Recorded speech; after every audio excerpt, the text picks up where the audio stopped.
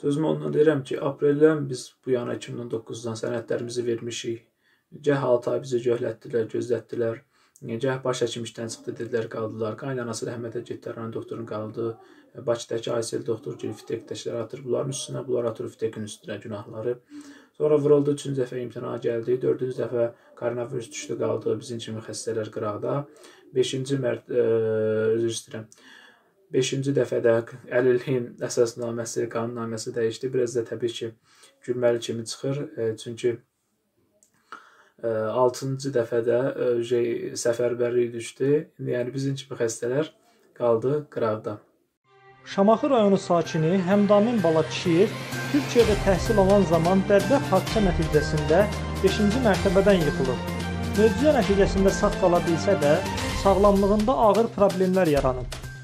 O, Azərbaycana qayıtdıqdan sonra xeyli müddətdir əlillik statusunu ala bilmədiyinə görə kanalımız vasitəsilə şikayət ünvanlayıb. Şikayəti sizə təqdim edirik. Mən 2019-cu ilin aprelin 5-də Türkiyədə 5-ci mərtəbədən yıxıldım. E, yəni heç bir dövlət qurumundan maraqlanmadılar ki, hansı səbəbə görə, nəyə görə yıxıldın. Amma Türkiyədə sağ olsun dövlət qurumları gəldi məni ziyarətə. Mən orada təcil tibb yardım oxuyurdum. İndi düşünün ki, burada hansısa bir xəstə olsaydı, onların üstünə ki, onları sağaldaq. Amma Allah elə elədi ki, biz xəstə vəziyyətinə düşdük. Nədən deyirəm sözümü? Sözümü ondan deyirəm ki, apreldən biz bu yana 2019-dan sənədlərimizi vermişik.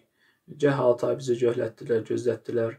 Gah baş həkim işdən çıxdı, dedilər, qaldılar. Qaynanası rəhmətə getdi, ran doktorun qaldı. Bakıdakı Aysel doktor ki, fitekdəkilər atır bunların üstünə, bunlar atır fitekin üstünə günahları. Sonra vuruldu, üçüncü dəfə imtahana gəldi, dördüncü dəfə koronavirus düşdü, qaldı bizim kimi xəstələr qıraqda. 5-ci mərt, ə, üzr istəyirəm. 5-ci dəfədə əlilliyin əsasnaməsi, qanunnaməsi dəyişdi. Biraz da təbii ki, gülməli kimi çıxır. E, çünki 6-cı e, dəfədə şey səfərbərlik düşdü. Yəni bizim kimi xəstələr qaldı qıraqda.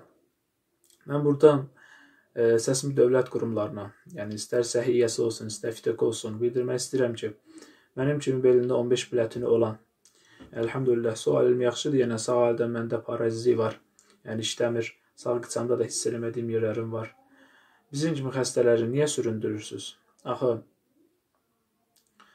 biz sizə nə eləmişik ki, bizi bu qədər süründürürsüz? Sağlam olsaydıq, isə bizim orada nə işimiz olardı? 6 dəfə əyani müayinədən keçmişik, əyani müayinədən keçmişik, Bakıdan, nə bilim buradan 4-5 dəfə keçmişik əyani müayinədən. Yəni heç nə qalmır. Yəni bizdə əskilik cəhətdən heç bir şey yoxdur. Sadəcə günah Şamaxı ilə e, qalır. Bakı İFTEK-in Əlillər Bərpa Mərkəzinin günahı. Mən bu videonu, bu şikayətimi ona görə elədim ki, qələbə xəbəri aldıq, əlhamdülillah. İndi heç olmasa bu 50 işlərinə başlaya bilərik. Mənim bir mənə dəstək olan qardaşım da hərbidədir. Əlhamdülillah. Bütün əsgərlərimizlə döyüşürlər. Ee, baxın, Azərbaycan Respublikası Prezidentimiz İlham Əliyev dediyi kimi, Azərbaycan Qarabağdır. Axırda biz Qarabağı da aldıq, əlhamdülillah. Mən şikayətimi eləməyəcəkdim. Buradan video zat göndərməyəcəkdim. Amma ki adam o qədər boğaza yığırlar ki, 4 aydan sonra 2 ilim tamam olur mənim. Bu niyə bu quzun kimi həqiqi xəstələri süründürürsünüz? Kanala öz təşəkkürümü bildirirəm ki, gözəl uyğun videolar atdığına görə YouTube-da baxdım, izlədim və şikayətimi buradan dövlət qurumlarına bildirmək istəyirəm. Əlillərin bərpa mərkəzində bir dənə də mərhəmətli olan adam yoxdur. Mən bunu sizə deyirəm. İndi vəldayıb da demirəm ki, Şamaxıdakılardan. Çünki Şamaxıdakılardan bizi tanıyırlar, eləyirlər. İndi desəm ki, ə, mənim bu əlimə görə ə, süründürüblər məni. İndi deyəcəklər ki, bizsə elə yaxşı, belə yaxşı. Ona görə heç şey demirəm Şamaxıda. Bir dənə əsas onu deyirəm ki, günah Bakınındır. Onlar istəsə mənim qrupamı bir dəqiqə verərdilər, amma özləri süründürürlər ki, yəni da indi bilmirəm indi nə üçün süründürürlər. Pul üçünmü, pul üçün deyilmi? Da onu mən bilmirəm. Amma xahiş edirəm araşdırılsın. Mən onsuz Şamaxıdan tanıyırlar. Zəhmət olmasa səsimə səs verilsin. Səs verilsə zaten mən buradan öz təşəkkürümü bildirəcəm həmin o dövlət qurumlarına. Səs verilməsə təzədən yenə kanal üçün Allah razı olsun şikayətimi yenə bildirəcəm. Səsimi cənab prezidentimiz İlham Əliyevə müraciət edirəm. Tahir Məmmədova müraciət edirəm. Allah onlardan razı olsun.